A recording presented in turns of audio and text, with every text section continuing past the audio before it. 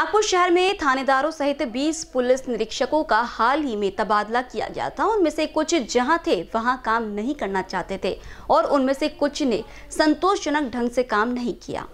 नागपुर के पुलिस आयुक्त अमितेश कुमार ने तबादला किया, लेकिन संबंधित अधिकारियों को इसकी भनक तक नहीं लगी। वाड़ी पीआई की बदली की गई और उनकी जगह पीआई प्रदीप रान्यवार को नियुक्त किया गया। इससे पहले नागपुर आयुक्त को संबंधित अधिकारियों को बुलाकर मामले की जानकारी देनी चाहिए थी, ताकि संबंधित अधिकारियों का मनोबल न गिरे। यह बहुत महत्वपूर्ण है। वाड़ी शहर में ऐसे कई मामले सामने आए हैं, जिनमें संदिग्ध हत्याओं जैसी घटनाएँ हुई हैं, लेकिन अधिकारियों ने परिसर और शहर को साफ़ रखा। नतीजन वह शहर को चलाने में असमर्थ रहे और समझा जाता है कि उसे एक झटके में बदल दिया गया था। बेशक वाड़ी शहर में प्रभावशाली व्यक्ति महत्व की ज़रूरत थी, लेकिन लोगों को न्याय दिलाने के लिए सावधान रहने वाले अधिकारियों का होना भी ज़रूरी है।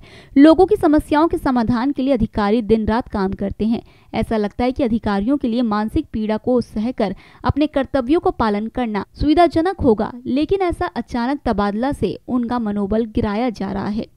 वाड़ी से एन न्यूज़ के लिए सौरभ पाटिल की रिपोर्ट।